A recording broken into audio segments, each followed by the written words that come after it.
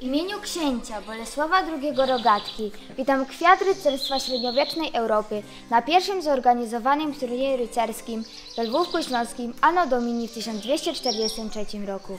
Witam wszystkich zebranych rycerzy i wzywam Was, abyście rywalizowali ze sobą o tytuł najwspanialszego rycerza świata chrześcijańskiego.